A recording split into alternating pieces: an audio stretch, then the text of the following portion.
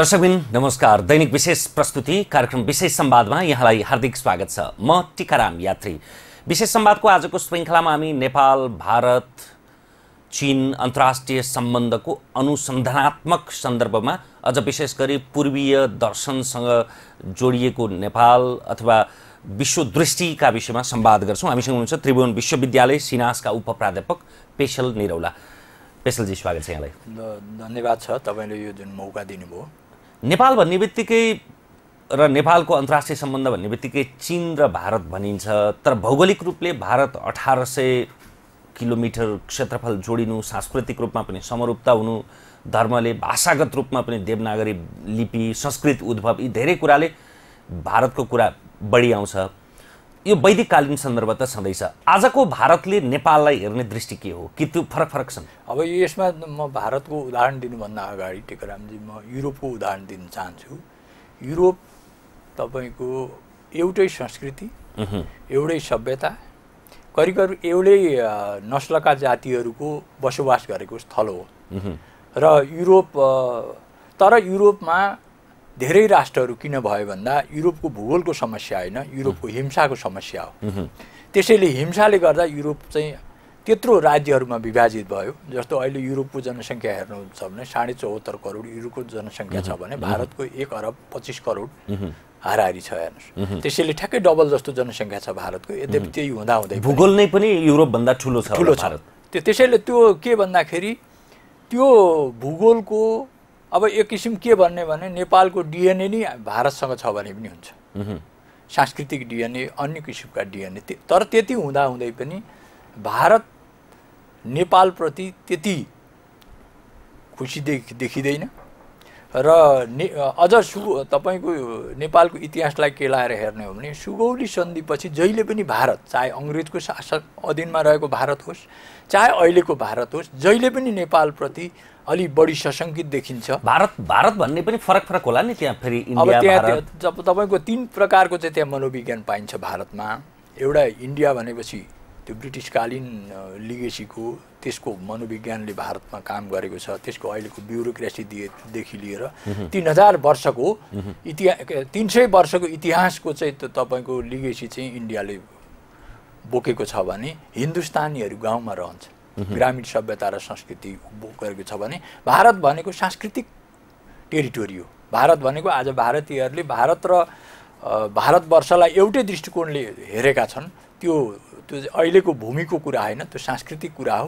त्यसैले भारत भन्ने साथ तिनवटा पक्षहरूको लागि हामीले विचार गर्नुपर्छ र नेपाललाई हिन्दुस्तानीहरूले माया गर्छन् नेपाललाई भारतीयहरूले माया गर्छन् तर नेपाललाई जहिले पनि उनीहरूले शङ्काको घेरामा र नेपाललाई चाहिँ एउटा चाहिँ यो चाहिँ यो स्वतन्त्र र सार्वभौम राष्ट्रको रूपमा ब्रिटिसले पनि त्यो मान्यता दिन इन्कार गरेको देखिन्छ भने अहिलेको मेसिनरी पनि त्यो मानसिकताबाट जहिले पनि प्रभावित छ।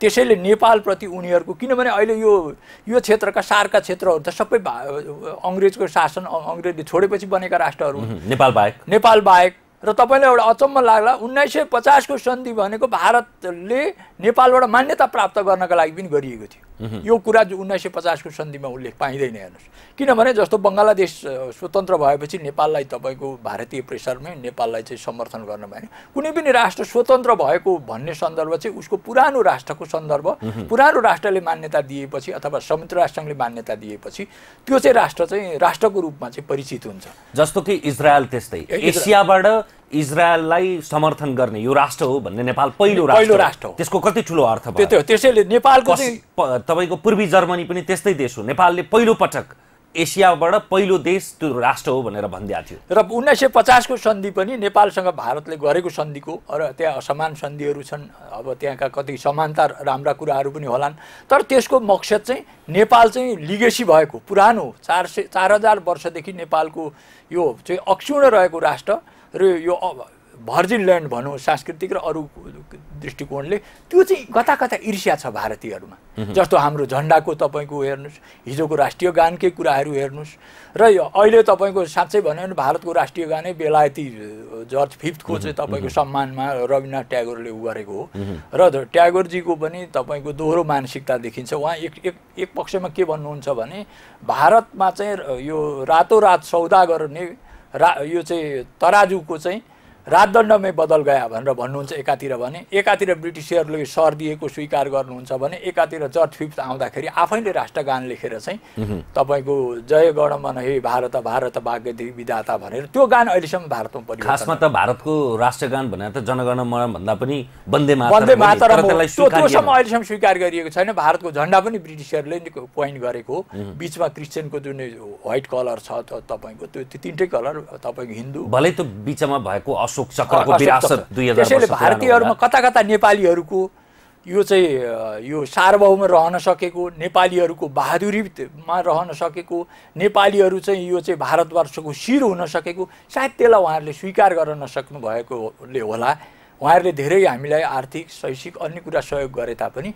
उहाँहरूको त्यो ब्रिटिसको मानसिकताबाट उहाँहरू अहिलेसम्म मुक्त हुनुभएको छैन र उहाँहरू आफै पनि ब्रिटेनको कमनवेल्थबाट उहाँहरू अहिलेसम्म मुक्त हुनुभएको छैन कमनवेल्थ त गौरव गर्छन् त्यहाँ। गौरव। त्यसैले ब्रिटिसको साम्राज्य भएका बाहन्न राष्ट्र सबैले कमनवेल्थ भनेको त्यो मार्फत हुने बुकर पुरस्कार भनौँ अथवा कमनवेल्थमा हुने खेलहरू भनौँ यिनीहरू त उनीहरूका लागि त्यो वैभव र गौरवको कुरा हो। त्यसैले तपाईँको के भने भारतीयहरूमा र हिजोको साम्राज्यबाट अधीन भएका राष्ट्रहरूमा चाहिँ अलिकति मानसिक यो चाहिँ रूपमा उनीहरू आफूलाई स्वतन्त्र भएको। त्यो महसुस पनि त्यति गरेको देखिँदैन। क्यानाडाकै स्थिति हेर्नुहोस् अस्ट्रेलियाकै स्थिति हेर्नुहोस् भने ब्रिटेनबाट स्वतन्त्र भए पनि ब्रिटिसकै महारानीलाई चाहिँ तपाईँको त्यहाँ एउटा सिम्बोलको रूपमा राखेको छ। र त अमेरिकाले चाहिँ अलिकति त्यसलाई तोडेको छ त्यो परम्परा। त्यसैले अब यो हिजोको साम्राज्यवादीहरूमा हिजो त्यो अर्काको अधीनमा बसेको हुनाले नेपाल पनि त्यस्तै अधीनमा बसोस् भन्ने उहाँहरूको इच्छा हुनसक्छ। र यो मानसिकता ब्रिटिसको लिगेसीको मानसिकताले अहिले पनि नेपाललाई पीडि यो चाहिँ पीडित गर पीडा दिइरहेको छ। चिन चाहिँ कस्तो हो? चिन के हो भने चिनको पाँच हजार वर्षको इतिहासमा करिब दुई सय तिस वर्ष मात्रै चिन चाहिँ विदेशीहरूको अधीनमा रह्यो। र संसारको साँच्चै भनौँ भने साम्राज्यको इतिहासमा चिनको जस्तो साम्राज्य सोच भएको राष्ट्र अर्को छैन आदिमकाल आजको आदिमकालदेखि लिएर तपाईँको दुई सय तिस वर्ष अगाडि चाहिँ उसले युद्धभन्दा अगाडि अफिम युद्धभन्दा अगाडि उसको के देखिन्छ भन्दाखेरि उसले जहिले पनि आफूलाई सेन्टरमा राखेको छ।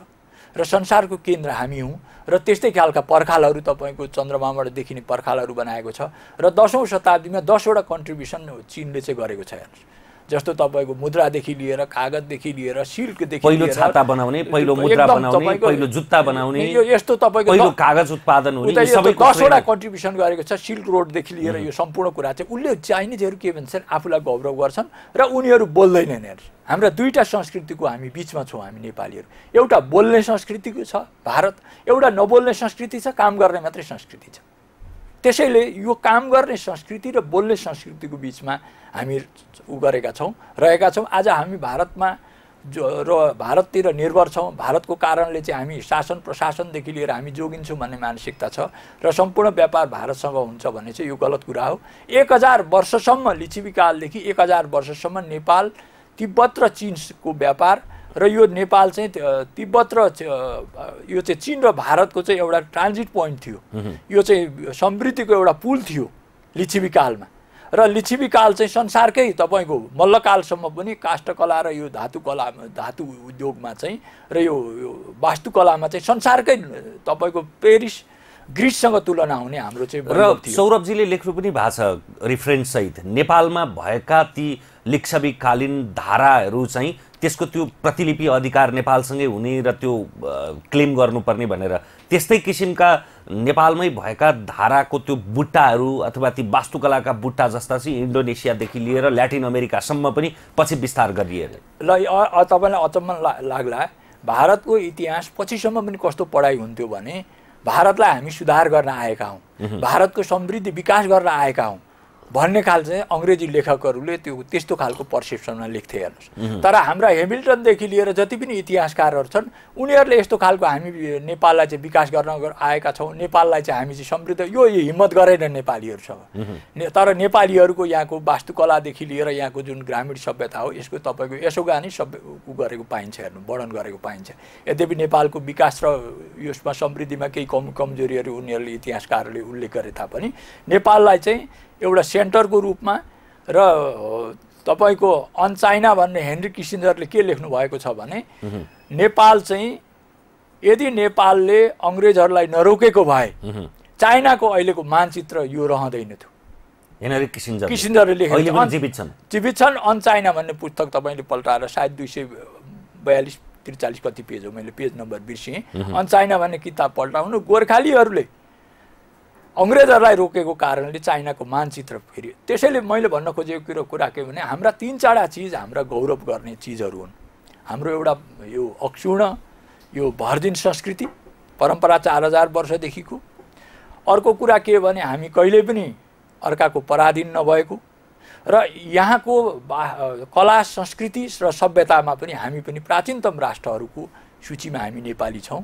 यद्यपि पहिलो समय हामी यसबाट अलिकति च्युत हुँदै गइरहेको र यो इतिहासको महिमाले हामीलाई गौरवशाली बनाउन हामीलाई झन्डै झन्डै इतिहासपट्टि फर्किने हो भने अहङ्कारी पनि बनाउला। तर आजको अवस्था त त्यस्तो छैन। होइन टिकारामजी अहङ्कारी होइन। जस्तो तपाईँको के भने कुनै जातिले राष्ट्र बनायो भने अहिले के भनिन्छ भने अब यो यस्तो कुरा भन्नुहुने हो होइन। खसको अहङ्कार भनेर चाहे तराईका मान्छेहरूले मैले त्यसलाई चाहे- सङ्केत चाहे। तपाईँको युरोपियनहरूले ए बाबारे जुन जातिको नेतृत्वमा यो राष्ट्र निर्माण भयो त्यो जातिको तपाईँको स्वाभिमान हो अहङ्कार होइन जस्तो त जापान मेजीहरूको चाहिँ ठुलो योगदान छ जापानमा। त्यसैले विभिन्न राष्ट्रहरूमा जस्तो तपाईँको चाइना भने एउटै जाति छ त्यता हान जाति छ। त्यसैको तपाईँको डोमिनेसन छ त्यसैले जे जे गरेको छ त्यही गरेको छ अब यहाँ तिनवटा कम्पोनेन्ट छ नेपालमा हेर्नुहोस् एउटा खसको कम्पोनेन्ट छ एउटा किराँतको कम्पोनेन्ट छ एउटा मैदानको कम्पोनेन्ट छ। यो तिनवटा कम्पोनेन्टमा यो दुईवटा कम्पोनेन्टलाई जहिले पनि खसले सन्तुलनमा राखेको छ। र यो पृथ्वीनारायण शाहकै सन्दर्भमा हेर्ने हो भने पहिलो नुवाकोटदेखि लिएर नेपाल अङ्ग्रेज युद्धसम्म बयालिसवटा युद्ध हुँदाखेरि सम्पूर्ण युद्धहरूमा खसकै नेतृत्वमा भएको। खसले नि शहादत गरेका प्राप्त गरेका छन् यो राष्ट्र निर्माणमा। उसको त अब अब राष्ट्र निर्माण गर्ने जातिको त केही न केही त स्वाभिमान त हुन्छ नि। त्यो स्वाभिमानलाई तपाईँले ठेस पुर्याउनुहुन्छ भने त्यसलाई अहङ्कार भन्नुहोस् जेसुकै भन्नुहोस् त्यसैले कुनै पनि जाति त्यो राष्ट्रको निर्माणका लागि जस्तो खाम भन्छौँ तिब्बतको त्यो खाम जातिको त अर्कै इतिहास छ। हाम्रो जस्तै लडाकु इतिहास छ तिब्बतको खाम जातिको। त्यसैले यो भनेको त्यो जातिको अहङ्कार होइन त्यो जातिको स्वाभिमान हो। त्यो जातिले यो राष्ट्र निर्माण गरेको छ यो धर्म संस्कृतिलाई जोगाएको छ। पृथ्वीनारायण शाह भन्ने भने खसकै तपाईँको निरन्तरता हो। चौधौँ शताब्दीको द नौँ शताब्दीदेखि लिएर चौधौँ शताब्दीको जुन खसहरूको छ त्यसकै निरन्तरता हो। र पृथ्वीनारायण शाहको निरन्तरता भन्नु तपाईँको लिच्छवीको निरन्तरता हो अंशुवर्माको मानदेवको निरन्तरता हो सगरमाथाको निरन्तरता हो बुद्ध बुद्धको निरन्तरता हो त्यो निरन्तरताको कन्टिन्युटी दिने काम पनि पृथ्वीनारायण शाहले गरेका छन्। यो राष्ट्रको तपाईँको भौगोलिक एकीकरण मात्र होइन पृथ्वीनारायण शाहले सांस्कृतिक यहाँको परम्परा यहाँको तपाईँको जुन निरन्तरता छ नेपालको सभ्यताको निरन्तरतालाई त्यसलाई अक्षुण्ण राखेका छन्। यो त आजको सापेक्षबाट हेर्ने हो भने चाहिँ त्यही रूपको सांस्कृतिक आर्थिक भन्दा पनि त्यो भौगोलिक एकीकरण जस्तो देखिन्छ। तर पनि गोर्खाको एउटा खस राजाले काठमाडौँको कला संस्कृतिलाई आत्मसात गर्नु कुमारीलाई ढोगेर भेटी राखेर गर्नु र यो संस्कृति भने चाहिँ अत्यन्तै गौरवपाली संस्कृति छ भन्नु। त्यो कुराका कारणले त्यो त्यति बेलाको दुई सय पचास वर्ष अगाडिको सापेक्षमा हेर्ने हो भने चाहिँ त्यो चाहिँ प्रगतिशील होइन। होइन। पृथ्वीनारायण शाह एकदम दूरदर्शी राजा हुनुहुन्थ्यो। र पृथ्वीनारायण शाहभन्दा अगाडि नै मकवानपुरका राजा हरिहर सेनले आफूलाई हिन्दूपतिको रूपमा चाहिँ उनले प्रस्तुत गरे। तेह्रौँ शताब्दीमा जब मुसलमानहरूले यो उत्तर भारतमा मुसलमानको शासन विस्तार भएपछि मुगल साम्राज्य। मुगल साम्राज्य यो ती मुगल साम्राज्यको शासनले गर्दा यहाँका राजाहरूमा चाहिँ हाम्रो पहिचानको चाहिँ समस्या चाहिँ उनीहरूभन्दा भिन्न देखिने। हिजोसम्म पनि तपाईँको सात सालसम्म पनि भारत जाने भन्दै थियो मुगल जाने भनेर हाम्रै बाबुबाजेले भनेको कुरा छ। त्यसैले त्योभन्दा भिन्न देख्दाखेरि आफूलाई हिन्दूपतिको रूपमा आफूलाई हिन्दू संस्कृतिको संरक्षकको रूपमा र पृथ्वीनारायण शाह पनि बनारसबाट फिर्केर आएपछि यो वास्तवमा असली हिन्दुस्तान त हिन्दुस्तान रहेछ। यो भनेको यो भनेको नेपाललाई उसले सङ्केत गरेको। यो भनेको असली हिन्दुस्तान रहेछ त्यहाँ त मुगल छ। त्यहाँको त रामेश्वरको मन्दिर भत्किएको छ। पृथ्वीनारायण शाह जानुभन्दा पैँतिस वर्ष अगाडि पनि त्यहाँ त क्षतविद्युत भएको छ मुगलहरूले। त्यसैले त्यो त्यहाँको चाहिँ ती मन्दिरहरू भारतको त्यो मन्दिरहरूको भग्नावशेष भारतमा चाहिँ हिन्दूहरूप्रतिको गरेको मुसलमानहरूको अन्याय त्यहाँको चाहिँ मुसलमानीकरणको जुन ऊ छ मुगलको ऊ छ। त्यसले गर्दा पृथ्वीनारायण शाहले चाहिँ नेपालमा आइसकेपछि वास्तवमा नेपालको एकीकरणमा जय जय गोरख जय जय काली भनेर यो सांस्कृतिक जागरण र सांस्कृतिक उद्बोधनमा चाहिँ पृथ्वीनारायण शाहले नेपालको एकीकरण अगाडि बढाएको पाइन्छ। र यो सन्दर्भ झन्डै झन्डै पुस सत्ताइसको सेरोफेरो पनि छ। त्यो राजनैतिक निर्णय होला एउटा आवेगमा र तपाईँको एउटा यो यसै सन्दर्भमा के छ भने पृथ्वीनारायण शाह कस्तो दूरदर्शी भने मुसलमानहरूलाई तपाईँको यहाँ चाहिँ उनीहरूले भित्र्याए। बारुददेखि लिएर मुसलमानहरूलाई तपाईँको बारुद बनाउन मात्रै होइन चुरादेखि लिएर अनेक सिङ्गारका प्रसाद अगाडि पनि आइरहेछ आइरहेछ। तिनजना मुसलमानहरूलाई भित्र्याएको छ दिव्य बदेशमै त्यो कुरा उल्लेख छ। तर क्रिस्चियन इसाईहरूलाई यहाँबाट निष्कासन गरे पृथ्वीनारायण शाह कत्रो दूरदर्शी थियो हेर्नुहोस् त्यसैले उसले त्यो बेलामा उनीहरूले यहाँ चाहिँ हाम्रो धर्म संस्कृति सक्छन्। सभ्यता संस्कृतिमाथि प्रहार हुन्छ राजनीतिमाथि प्रहार हुन्छ भनेर त्यतिखेरै सजग भएर त्यसैले आज दुई सय पचा पचास वर्षपछि वास्तवमा भन्ने हो भने नेपालको धर्म संस्कृतिमाथि बदला लिएको छ। पछिल्लो समय म केमा जोड्न चाहन्छु भने यहाँका संस्कृत विश्वविद्यालय जलाउने विश्वविद्यालय जलाउने तपाईँको जस्तो अहिले तराईकै मोमेन्टमा हेर्न भने राष्ट्रपतिमाथि जुन दुर्व्यवहार गरिएको छ चिनको झन्डा जलाउने त्यस्तै तपाईँको राकेश सुदमाथि जुत्ता हान्ने यस्ता जति पनि क्रियाकलापहरू तराईका जति पनि छन् पहाडमा जति पनि क्रियाकलापहरू छन् यो त्यो कसरी जोड्न सक्नुहुन्छ तपाईँले? राकेट सुदसँग माओवादीहरूले हानेको जुत्ता र जनकपुरमा राष्ट्रपतिलाई हानेको त्यसको के हुन्छ? कडी हुन्छ यो त्यसको? एउटै कडी हुन्छ। जस्तो? तपाईँ तपाईँको के हुन्छ भने यहाँका अहिले गुम्बाहरू तपाईँको नेपालको गुप्तचर विभागले दिएको रिपोर्ट तपाईँ हामीले हेर्न सक्छौँ। बयालिसवटा गुम्बा जुन काठमाडौँको से माथि डाँडाहरूमा छन् त्यहाँ सबै सिआईको अखडा छ भने रिपोर्ट दिएको छ। सबैमा नभनौँ अधिकांश अधिकांशमा। त्यो नेपालकै गुप्तचर उसले दिएको रिपोर्ट हो। र यो अमेरिकन एम्बेसी भनेको यो एसियाकै त्यो गुप्तचरको रिपोर्टलाई अलिअलि परिष्कार गरेर अ, सरोजराज अधिकारीले चक्रव्यूहमा चन्द्र सूर्य भन्ने। पुस्तकमा पनि लेखिया छ। कुन ककरले फन्ड गरे हुन् भनेर। जासुसीको जालो त्यो अगाडि अगाडिमा पनि अगाडि छ। अनि त्यसमा अहिले त्यो कुरामा पनि लेखाउनु भएको छ। त्यसैले के छ भन्दाखेरि अहिले नेपाल अन्तर्राष्ट्रिय एउटा चक्रव्यूहमा फस्दै छ फसिरहेको छ। थप फस्दैछ थ जस्तो तपाईँको अहिलेको तपाईँ यो चाहिँ चर्च भन्नुहोस् र गुम्बाहरू भन्नुहोस् चिन विरोधी केन्द्रमा लक्षित छन् हेर्नुहोस्। चिनको समृद्धिबाट र तपाईँको चिनलाई कसरी हुन्छ अस्थिर गराउने यो रणनीतिमा? यो स्वाभाविक हो हेर्नुहोस्। र तपाईँको दुई सन् दुई हजार पचाससम्म चिन चाहिँ अन्तर्राष्ट्रिय शक्ति केन्द्रको दृष्टिकोणले अहिले चिन अन्तर्राष्ट्रिय शक्ति केन्द्रको आर्थिक रूपमा त अब दुई हजार पच्चिसमै भइहाल्छ। भयो पच्चिसदेखि तिससम्म हुन्छ भन्ने छ।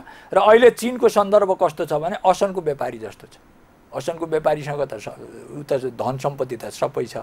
अहिले युरोप र अमेरिका कस्तो छ भने मन्त्रालयको सचिव जस्तो छ।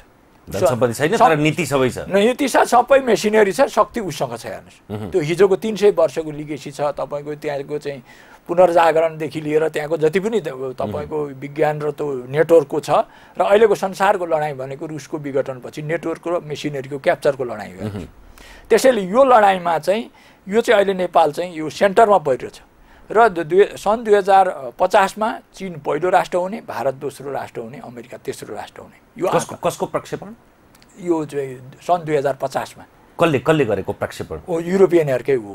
यो अब भविष्यवाणी हो। अब यो कति कुरा हुन पनि सक्छ नहुन पनि सक्छ तर उनीहरूले त्यसरी सजग छन् र अहिले के छ भने युरोपियनहरू यो असीको दशकपछि अब विभिन्न उसमा चाहिँ यहाँ पसेका छन् नेपालमा। जस्तो उत्तर आधुनिकतावाद यो यो यो विश्वविद्यालयदेखि लिएर यो कुरामा चाहिँ उत्तर आधुनिकतावाद मैले बुझेअनुसार सिआइएको एउटा गुरु योजनामा तयार पारिएको हो। अब यसले के गर्छ उत्तर आधुनिकतावादले के गर्छ भने? त्यसको अब सुरुवात कर्ता पात्रहरूप्रति अन्याय त गर्नु भएन। मिचेल फु फुकोको पोस्ट स्ट्रक्चरलिजमदेखि लिएर ज्याक्स डेरिडाको पोस्ट मोडर्निजम र डिकन्स्ट्रक्सनदेखि लिएर त्यति बेलै त उनीहरू डिजाइनका पात्र हुन् भन्ने त होइन। पछि चाहिँ त्यसलाई त्यो रूपमा प्रयोग अब गरियो अहिले के छ भने अहिलेको तपाईँको हिजोको साम्राज्य भनेको विस्तारवाद थियो। अहिलेको पुँजीको एकाधिकार हो अहिलेको साम्राज्य भनेको। र तपाईँको माइकल पिटेडरो भन्नेको एउटा थ्योरी नै छ। सेन्टर एन्ड पेरिफेरी थ्योरी छ। यो मार्क्सिस्ट हो। बेला यो चाहिँ विशेष गरी यो चाहिँ ल्याटिन अमेरिकन राष्ट्रहरूमा चाहिँ यिनीहरूको समूह नै छ।